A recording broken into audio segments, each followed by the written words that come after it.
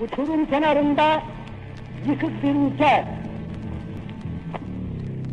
Türlü düşmanlarla kanlı buluşmalar. Yıllarca süren savaş. Ondan sonra içeride ve dışarıda saygıyla tanılan yeni vatan,